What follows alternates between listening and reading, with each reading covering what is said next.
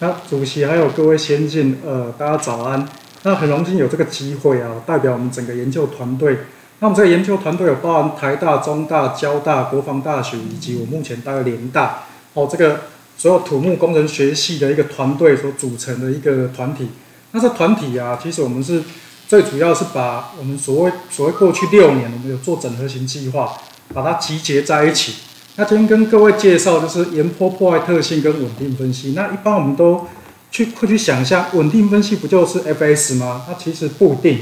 那因为我们在野外的时候，真实看到一个岩坡现象，跟设计的时候，有时候 FS 很难代表一个岩坡到底是不是一个临界状态。所以我们把很多的一个技术跟研究，把它集结在这里面。今天跟各位做这个简要的介绍。好。那这个我们简报大纲里面呢，其实我们今天最主要重点哦，会跟各位介绍一个研破基本形态，就是我们把真实的现场调查移到里面做这个物理模型，让各位看到基本的研破破坏形态。接下来我们会做稳定分析，哦，那再来最后做一个浅视分析，那用浅视代表 FS，让各位可以看到这样的一个视觉化效果。好，直接用滑石子这样子，我们看到。好，OK，好。那大致上，我们这个岩坡啊，基本形态来讲，我们从过去的一些文献跟我们看到基本形态，绝大多数不外乎像这种顺向坡的平面型坡啊，这是大家最最常看到，而且规模最大。那再来，这个是大家一般来讲比较少见，就在山区公路才会看到，就是有关倾倒跟倾翻的破坏。但是我们在台湾山区公路，绝大多数看到这种翻倒破坏都是小规模的落石，哦，比较小。那再来，这个也是比较少见，就是所谓的楔形坡啊。其实，在我们生活里面，很多的大规模崩塌，可能都会跟这一个楔形破坏有关。那最后一个也是我们大规模崩塌里面比较常见的这一种复合型灾害。好，那这个是基本的岩坡破坏形态。好，但是如果说我们从呃真正的这个案例来讲，包含像我们过去待过的呃做过这个小林村的 case，甚至像草岭。国道三号还有近近期的这个乌来装置崩塌，这些大规模崩塌其实它都有很多不一样机制存在哦，可能很难用单一个岩坡机制来形容。那再来，刚刚我们看到这些岩坡破坏机制，其实我们都是事后诸葛，看到之后我们用想象，很难去思考说像这样的一个岩坡破坏，它的过程是什么，重要关键的控制是什么。所以，我们今天就是最主要，我们这个整个整合型计划就是。我们分不同的机制，接下来把基本形态弄清楚之后，把这样的过程移到这样的一个复合型的滑动里面，跟各位做这这样的一个介绍。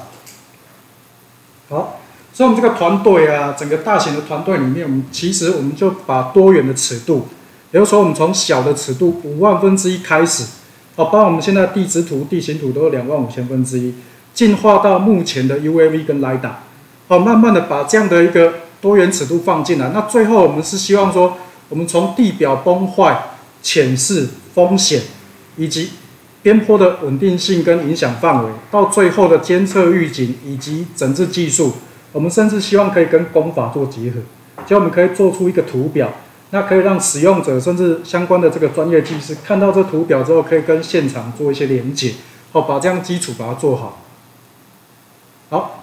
那么的研究方法里面，绝大多数就是这四种哦。其中第一个，我们先从现地把刚刚看到这个岩坡基本机制跟复杂的这种大规模崩塌的行为，把它简化。哦，简化到室内之后，我们要先训练自己说，像这样的一个平面型，还有翻倒，还有像这种楔形破坏，它的基础模式是什么？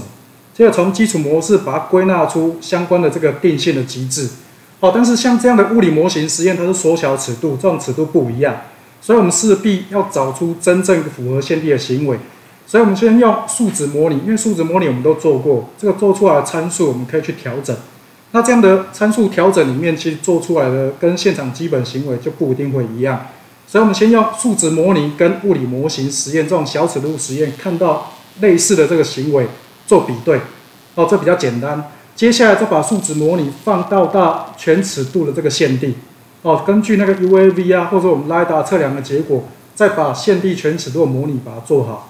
那当然，现场做出来模拟我们要比对，所以我们也有团队做这个现场监测。但是今天时间不够，所以我介绍这三个部分。那最后我们是希望说，对这个沿坡工程，包括道路啊，还有山区等等，浅示的评估跟工程的建议可以做一些帮助。好，那我们一般来讲，遇到这种岩坡，尤其像大规模崩塌这种深层数达达数十米的这一种破坏行为，基基本上都会牵涉到岩体。那这种岩体就是 rock mass，那 rock mass 基本上有两者材料组合，一个是 interrock，就是我们完整岩石，跟这个 discontinuity，就是我们的弱面组合在一起。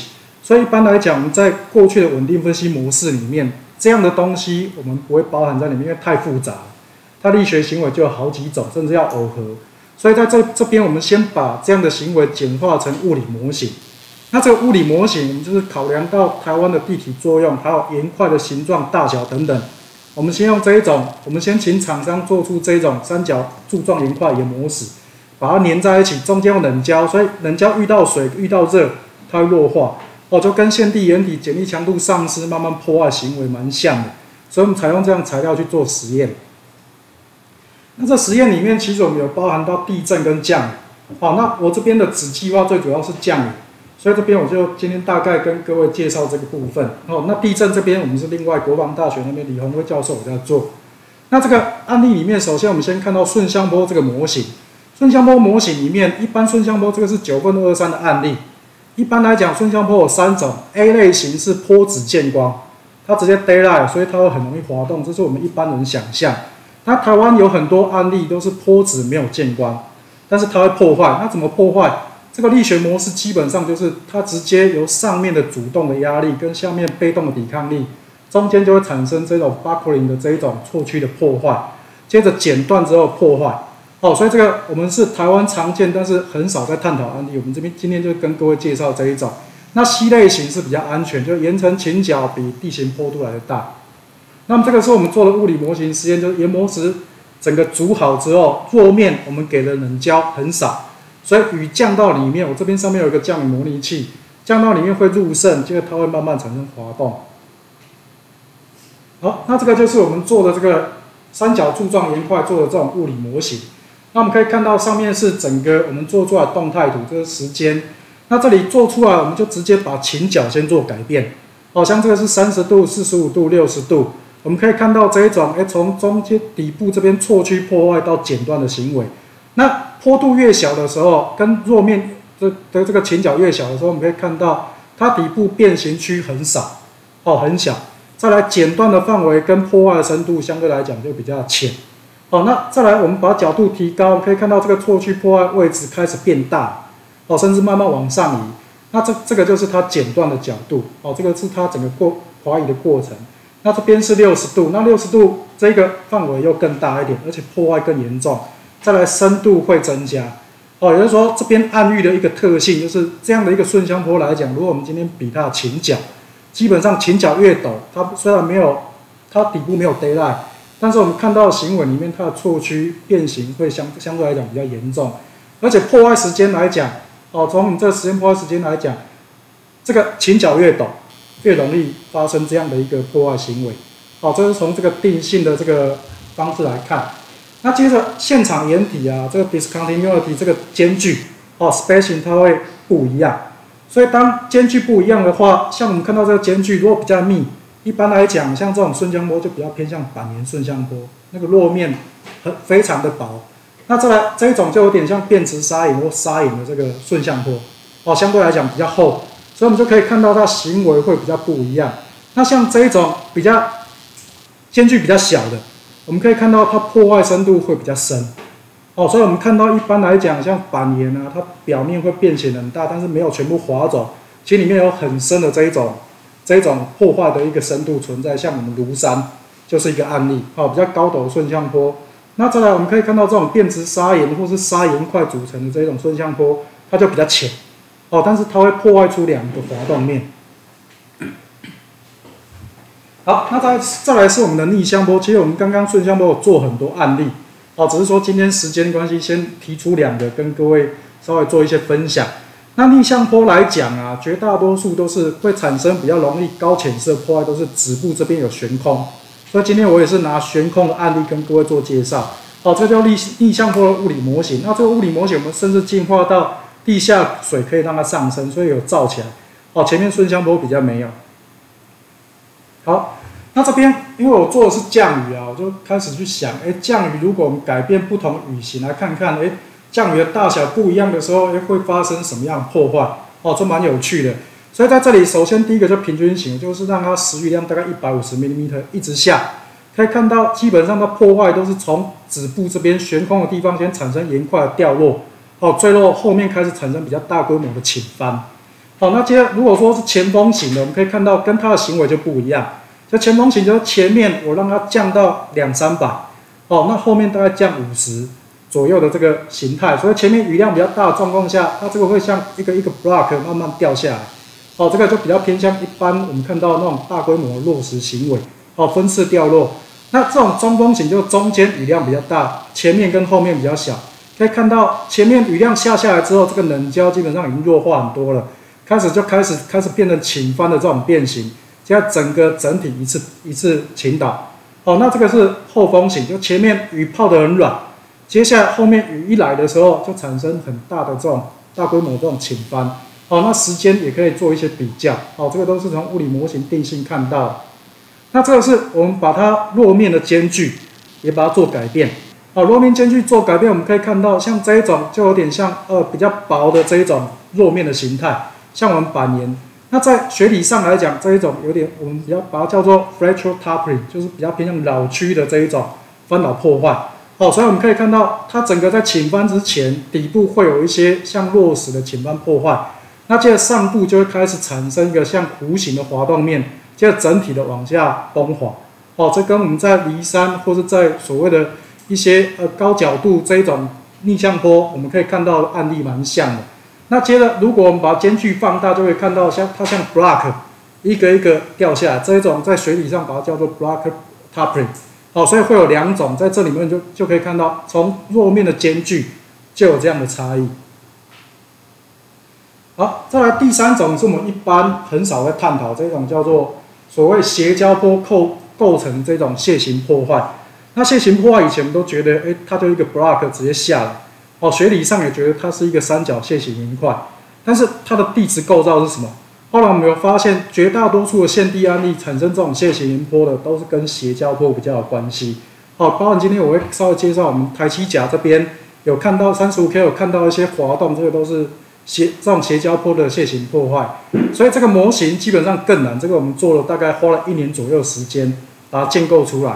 好，所以我们可以看到这个是在台二线南崖里，哦，在东北角海岸看到这种楔形破坏。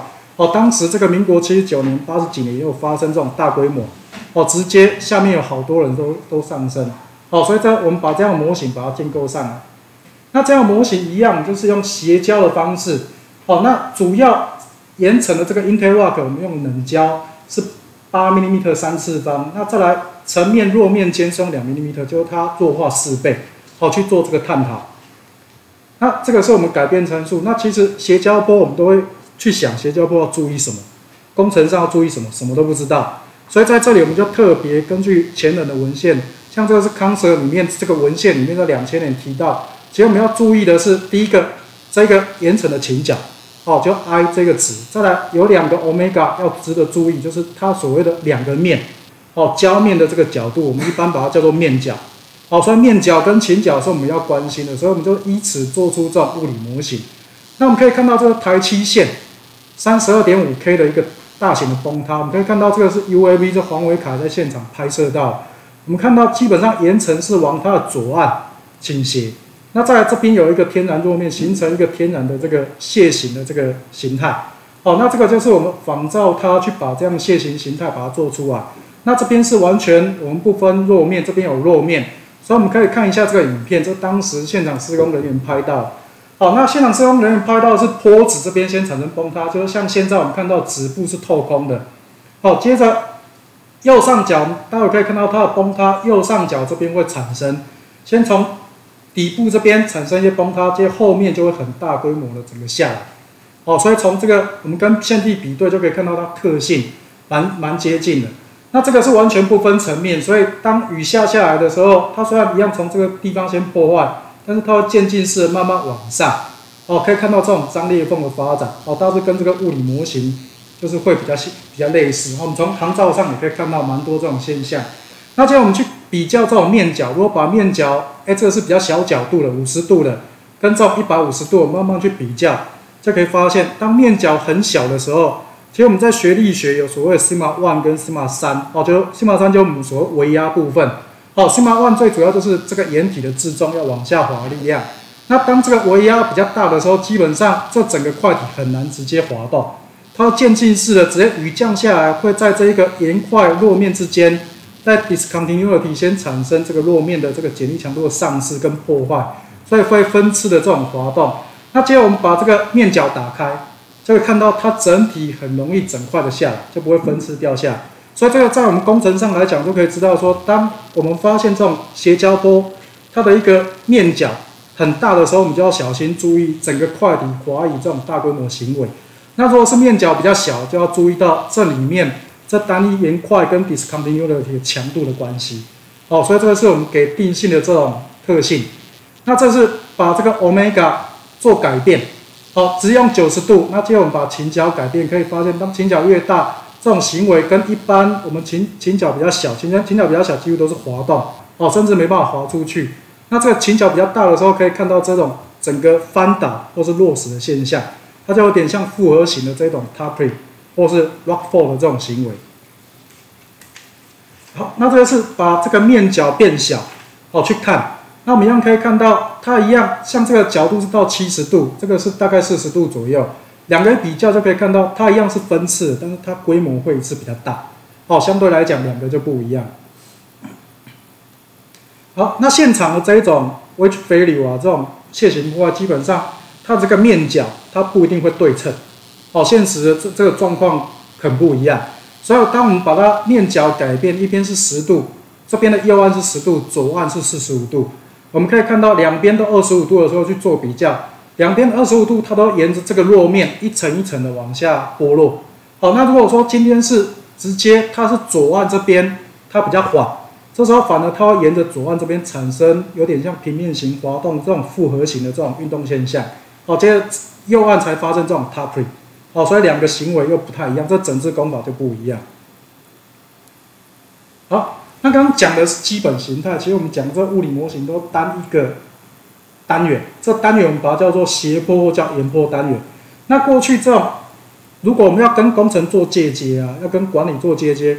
势必要让这一些岩坡有一个编号。那在编号以前，我们把它叫斜坡单元，因为它管理比较方便。我们可以知道说，哎，编号这个零零一的这个斜坡单元是负哪一个单位要负责，哪一个单位要去整治，哪一个单位要去做管理。好，所以在管理上比较方便。再来分析有它的优势，因为我们整个做整整个集水区的这个分析的时候很复杂，没办法做解释。所以这时候我们把单一岩坡现象把它分出来的时候，分析很简单。再来，我们要做整体解释的时候，它可以整个整合起来，所以它有这三个管理、分析、整合的优势。好，那当然岩坡跟地形啊，基本上会有一点关系，但是它不是完全相关。所以我们这边整个研究团队就自创了所谓的岩坡单元。我们除了地形之外，我们把地址也加进来。再来，我们用现场比较大、这种比较大尺度的这种 UAV 跟现场调查，把它整合进来。把落面破坏历史，还有所谓岩坡破坏形态，把它做分类。好像这个是蓝牙里我们整个调查区域范围。好，这个区域范围里面就把它分成十六个岩坡单元。好，就根据这上面的这一种机制等等，把它分成所谓的岩坡均匀单元来做分别的分析。那这分析里面，我们就可以直接做稳定分析。像这个零 NR，这个是我们蓝牙里哦，它的一个代号零零一。这个岩坡单元，我们直接就取一个剖面。直接先做这样的一个岩坡分析。那分析上我们采用 slide 哦这样的一个分析软体，因为它可以考量到岩体，所以我们现场可以用大尺度的调查，把 GSI 把这个参数纳进来。好，那进来之后，我们除了把参数把它做好之外，另外一个我们现场可以看到用肉眼看到裂缝，甚至我们用空拍机拍到裂缝，可以加到我们这样的一个模式里面。好，所以可以做分析。在分析上，我们可以改变，像我们这边，哎，完全没有地下水的状况，但是我们有加裂缝，这时候直接做整体的稳定分析。那这个是逆向坡的一个形态。好，那再来，这边是加地下水，这边是地下水完全满位的时候，所以我们可以把这样的一个渗透系数，我们在现场做实验，把它加到这里面来，就可以知道多少的雨量造成地下水位上升跟边坡的不稳定。好，那接着这种边坡稳定分析，我们就跟实验做一个整合。那整合之后，我们是希望说，在工程上，如果说我们要做决策的管理，这时候在规划上，我们需要有潜势甚至风险这个东西来做协助。所以，我们这边初步把这样所谓稳定分析跟斜坡单啊沿坡单元做整合。所以，我们可以看到，我们这边是初步归纳三种属于所谓的高潜势的这种判断规则。这包含整个沿坡单元平均。fs 小于一，所以我们一个沿坡单元里面，我们会切三到五个剖面，哦，把它从三 D 化去考量，看看有多少的网格单元平均大概会多少。那再来全面崩坏，就是几乎大于五十帕以上，fs 小于一，不管它分布在哪里。那在最后一个，我们都知道坡子如果让它悬空，就是说沿坡很很不安全，所以下半部只要超过三十趴，fs 小于一，我们也把它当做高潜势。好，接着我们把同样规则放到中跟低里面，我们把这样的一个 fs 降成升高成一点五跟二点零，来当做中跟高低的这个浅势的分析。那这个是我们从沿坡的这一个稳定分析上来看。接着另外一个我们可视化的稳定分析，是从我们刚物理模型实验得到结果。如果现场有楔形破坏的，五十帕以上有 I 角，就钢琴角大于四十度。面角大于四十五度就比较开放的，比较容易产生大规模滑动，这个我们把它就把它列成高潜势哦，所以它必须要符合这样的条件。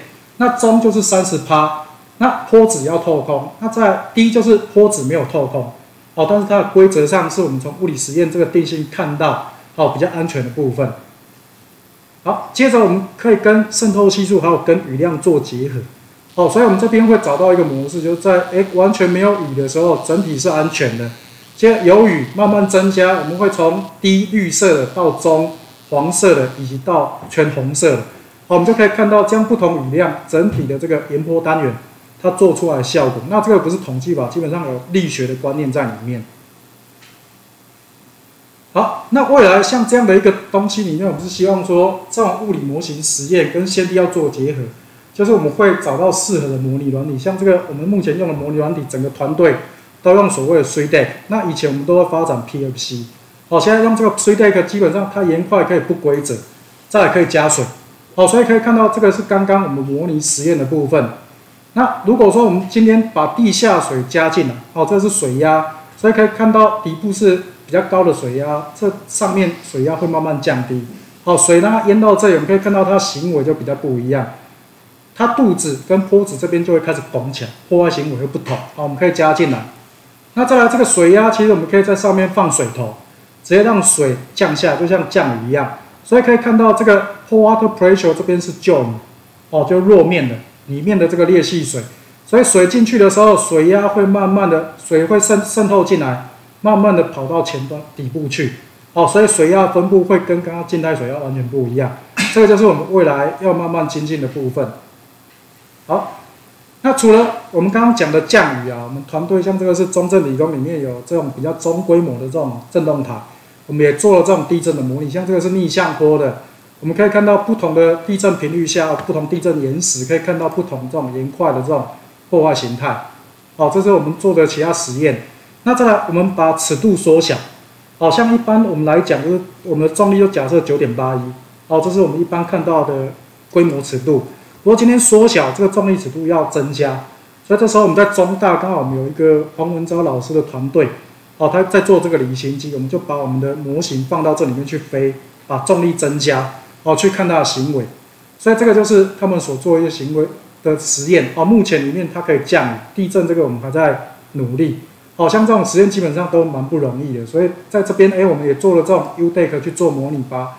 它的重力从一 G 就九点八一慢慢增加到四十 G，好，直接去做这样的模拟的这个部分。好，当然这样的数值模拟，我们现在在努力的要把它加到我们的现场的这个全尺度模型。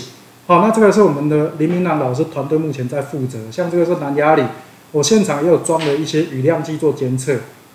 好，那这个就是刚刚我们看到案例蓝牙里的案例，就是用 UDEC。哦，所以这个是 UDEC 直接做这样的哦，所以 deck 直接做模拟，这是从平面，这是三 D 的部分，可以看到这样的形态。那最近我们这个团队也开始把刚刚我们看到台七线哦，三十二点五 K 就北横这个案例，把它用弱面的调查方法做这样的一个模拟。那这模拟我们可以看到，这个刚刚我们看到这个影片，哦，这个就是我们直接做细致化模拟。那前面我们是用物理模型看它的定性的这种行为，哦，也也可以看到它是从先从波子这边破坏，破坏完之后慢慢往上。那刚因为它的岩层弱面是往左岸倾斜的关系，所以这个右我们现在看到右上角。只要左岸这边会有比较多的岩石，好，那个岩块直接滑落。好，那接下来我们最后啊，是希望说这样的一个这样的一个实验跟模拟，还有我们这样的一个工程实物的思维，可以进阶到工坊，把尺度再把它整个再把它放大。好像这样尺度在放大的过程里面，我们就可以直接把这样的一个过程把它做一个结果。那未来我们是希望说，像工程师，一般实物工程师。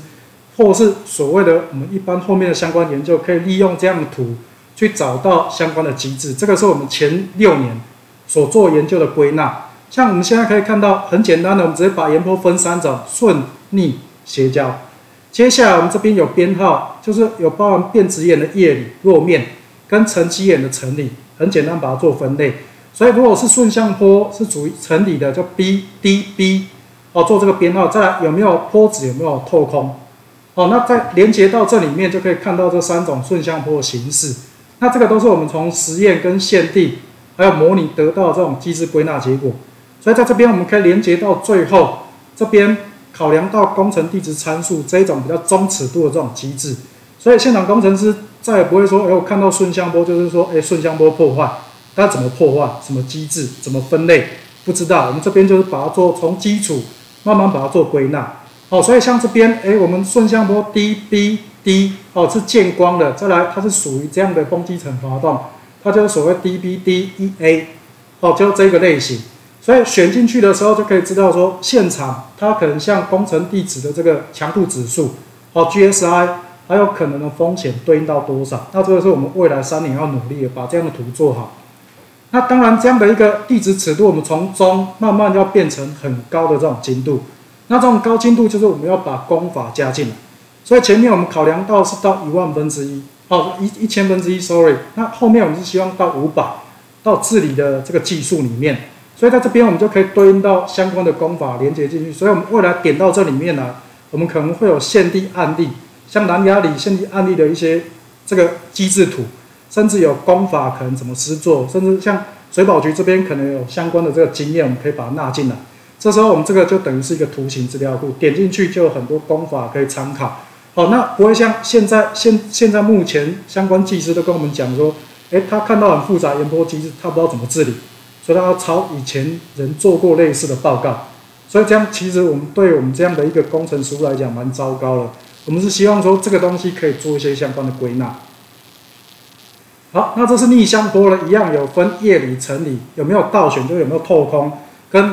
没有倒悬的部分，那最后可以，我们可以看到，哎，甚至像这种低倾角比较危险的，我们实验都有反映出来，就它整个会剪断，哦，会产生大规模崩滑，像在这里面都可以反映出来，那一样会有 GSI 跟 risk 在里面，哦，可以做参考，那也可以对应到我们所谓的基本的这种治理技术的层面里面做这个对应，好，那这个是斜交坡，那斜交坡过去我们很少，绝大多数都觉得它沿着这个交线在滑动。而且两个胶面基本上我们都假设说，哎，它是一样角度。那这里我们有做不一样分类，包括面角打开，面角比较紧密。那高倾角、低倾角做这样的一个归类。那最后可以跟我们的这个工程地址做这个借接，哦，机制做借接。那也可以跟我们实物的工法做借接。那未来三年我们是要把这一块加到这里面来。好，所以这个我们最后因为时间差不多。最后就是我们这边林明朗教授，其实我们是都是林明朗老师这边，我们同一个研究室带起来。那他这边就是有一个蛮好的结论，这边跟各位做分享。所以其实我们刚刚看到你真的边坡的现象啊，现在的技术包含 UAV 可以做很细致，哦，基本上已经慢慢这个梦想可以达成。但是岩石内部的弱面啊，永远是未知数，所以我们这边在研发一些创新的这个监测技术，可以了解岩坡里面的这个状态。这目前我们还在努力。再来，如果是复合型岩坡很复杂，我们怎么把这样的机制把它加进来？除了岩坡单单元之外，我们就要努力。所以这边林老师以前我听到这个都很创，因为当时我是他学生，他就是革命尚未成功，同学仍需努力。那现在还好，自己当老师之后，我的学生会比较紧张。哦，这就一代传一代。那最后这个就是我施工在加拿大落基山脉所拍的这个这个整体的这个岩坡的画面。好，所以我们看到一个很漂亮的照片里面，岩坡有多少的潜在危机我们不知道，怎么治理我们不知道，所以我们需要这样的一个我们这样的团队做出这样的研发跟研究，让未来的这个相关的整治技术这样的机制可以做很好的评估跟效益的这个检讨。好，谢谢各位。